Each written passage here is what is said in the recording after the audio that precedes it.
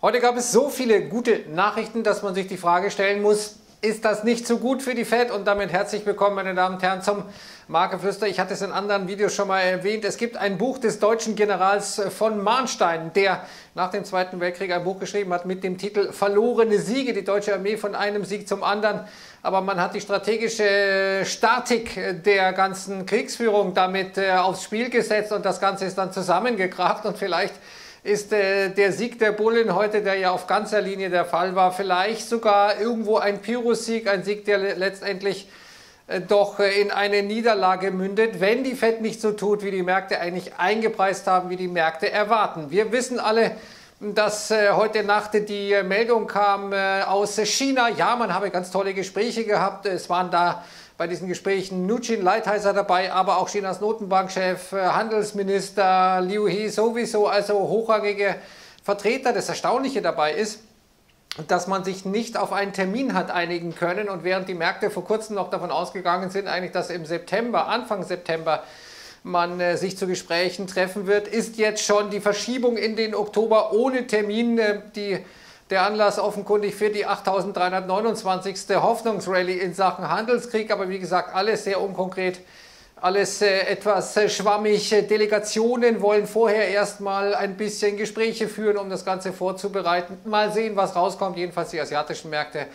Natürlich nach oben, die europäischen taten es gleich, aber dann gab es einen kleinen Schocker und der kam mal wieder aus äh, Deutschland. Wir sehen hier die Industrieaufträge minus 5,6 Prozent zum Vorjahresmonat. Und das war natürlich schon ein ziemlicher äh, Knaller, zumal auch dann wenig später auch der Construction PMI, also der Einkaufsmanager-Index aus dem Baugewerbe aus Deutschland kam mit 46,3, deutlich kontrahierend.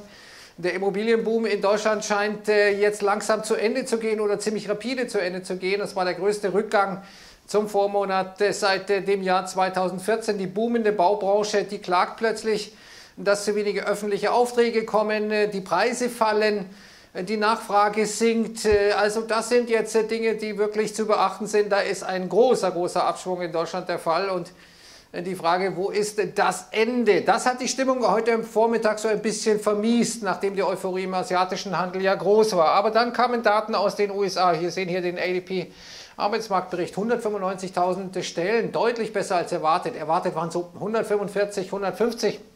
Wir sehen, äh, dass nach dem äh, Schock im Mai, wo wir bei 45.000 Stellen nur waren, es konstant nach oben geht. Also der Arbeitsmarkt scheint gut dazustehen, aber der Arbeitsmarkt ist ein nachlaufender Indikator.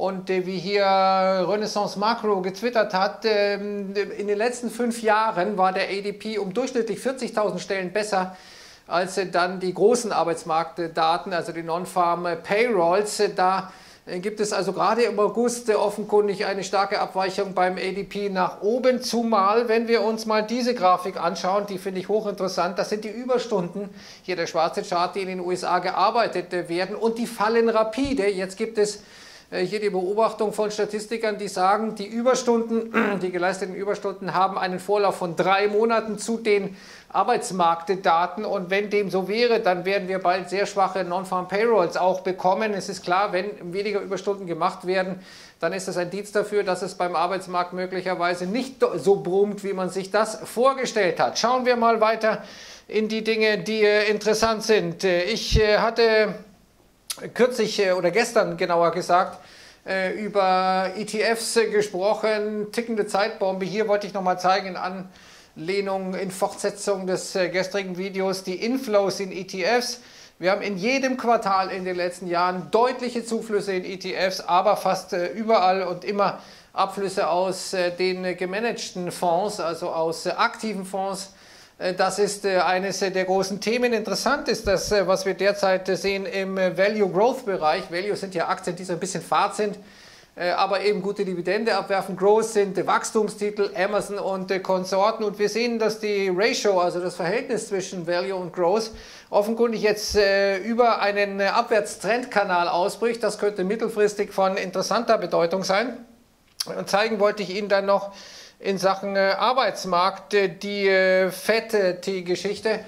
Ich hatte ja vorhin gesagt, mal gucken, wie jetzt morgen die Arbeitsmarktdaten reinkommen. Wir haben jetzt aktuell die Wahrscheinlichkeit für eine 0,25er Zinssenkung am 18. September, wenn die FED das nächste Mal tagt, bei 95,8% und nur 4,2% für eine 0,5er Zinssenkung, also für einen großen Zinsschritt. Und das hat heute nochmal äh, neue Nahrung bekommen, dass das wohl nicht so sein wird nach einem Bericht des Wall Street Journal ähm, in dem es heißt, äh, die Idee einer 0,5er Zinssenkung hat keinen wirklichen Anklang äh, gefunden bei den FED-Mitgliedern und nach den heutigen Daten schon dreimal nicht, kann man vermuten. Jetzt mal abwarten, wie morgen äh, die FED reagieren wird oder wie man dann reagieren wird eben auf die US-Arbeitsmarktdaten.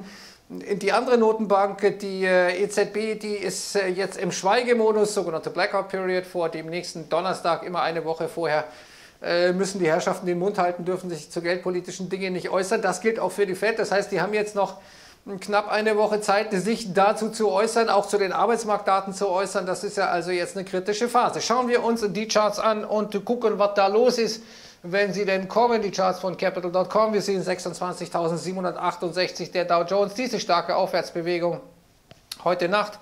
Plums hat es gemacht und dann die nächste Move nach oben aufgrund der starken US-Daten. Schauen wir uns mal den S&P 500 an, der äh, es jetzt äh, geschafft hat, aus dieser Seitwärtsrange zunächst mal auszubrechen. Aktuell sind wir bei 2974 Pünktchen. Was machte der Germanski 30? Der deutsche Leitindex mit einem Aufwärtsgap äh, reingekommen heute im asiatischen Handel, aber dann ist ihm ein bisschen, naja, der Saft ausgegangen. Er hatte dann nicht mehr so richtig Power. Äh, wir sind ja auch schon ganz gut gelaufen und möglicherweise ist der DAX jetzt auch schon mal kurzfristig ein bisschen überkauft nach den jüngsten Rallye-Etappen, die man hier absolviert hat. Und möglicherweise wird die EZB eben nicht so liefern, wie der DAX sich das erwartet. Schauen wir uns den Euro an, der war heute schon bei 1,1080. Dann haben wir die starken Daten aus den USA. Jetzt wieder Dollarstärke, plötzlich 1,1038. Renditen sind heute nach oben gegangen. Die 30-jährige deutsche Staatsanleihe das erste Mal seit einer Woche wieder positiv rentierend. Wir haben dann Gold, das auf die Mütze gekriegt hat. Äh, hier mit einem äh, teilweise deutlichen Abverkauf, sogar in Richtung 1505 Dollar. Und wir haben Crude Oil, das weiter steigen kann äh, auf 57,11 Dollar. Also Arbeitsmarktdaten morgen sehr, sehr wichtig. Möglicherweise äh, ist das, was am amerikanischen Arbeitsmarkt passiert, so ein bisschen nachlaufend. Wir haben Schwäche bereits im Industriesektor in den USA, wie überall auf der Welt.